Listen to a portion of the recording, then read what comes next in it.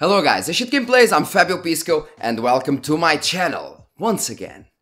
Or maybe not, maybe it's your first time, but welcome to my channel and don't leave it.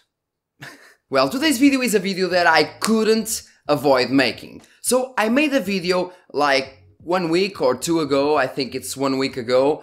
Uh, it was one week ago, ago. it's this video uh, and it was about me ranting per se. It was not a rant, but it was like me saying the problems I had on the new Adrenaline 2020 driver. And so I did that video and I usually don't do those things. So I did that and now I'm doing this, which is the video saying that it got fixed.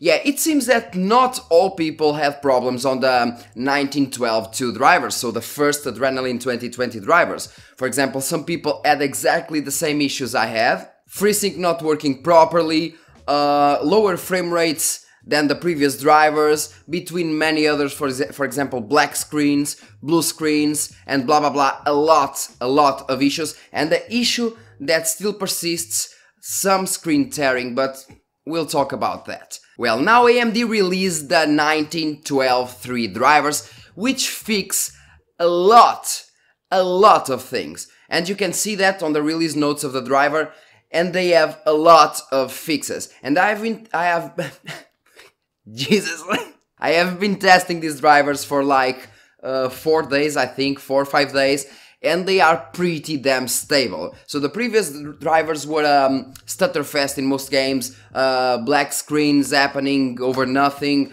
uh, between many other th other things like the FreeSync for example.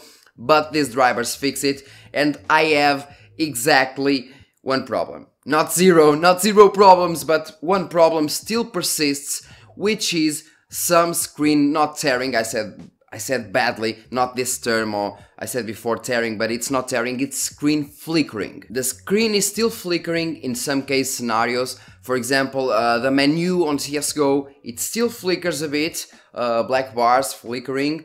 Um, and the same happens, for example, on Rainbow Six Siege menu also. But strangely enough, it doesn't happen in all other games I tested, just on Rainbow Six Siege and on CSGO. Still, the flickering on the 1912-2 were, was way, way worse than on these new drivers. On these new drivers, there is a flickering, but really, really almost imperceptible, in some cases a bit perceptible, but not that much, comparing to the previous drivers, which had a massive flickering just on the menu. So as soon as you go to the game, you don't have this problem, but if you go into the menus, you will see the game flickering the screen flickering. And well, that's basically it guys. Just a video to say that they fixed things. At least most of them, finally. Uh, and I'll be doing some new overclocking tutorials for Vega 56 and for RX 5700 XT on the new Adrenaline 2020. Um, yeah. So basically, in case you're having problems, install the 1912 one, which are Adrenaline 2019 okay? The best stable drivers, at least for me, at Adrenaline 2019 or the 1912-3, which are the new, the newest in this case, Adrenaline 2020, which are also pretty damn stable, taking one point or two, of course. Also, the next big video is DDR4 3200 MHz versus 3600 MHz versus 3800 MHz versus 4266 hundred, no, 4266 megahertz. Yeah, and it will in include, for example, 3800 megahertz with improved timings and subtimings. So don't miss it. That's all on Ryzen 5 3600. And well, there's not much more to say. Thanks a lot for watching. Don't forget, hit like, subscribe and share this video. Comment on the comment section and tell me what you think about this video and about these new drivers 1912.3 Tell me if they are working for you or not.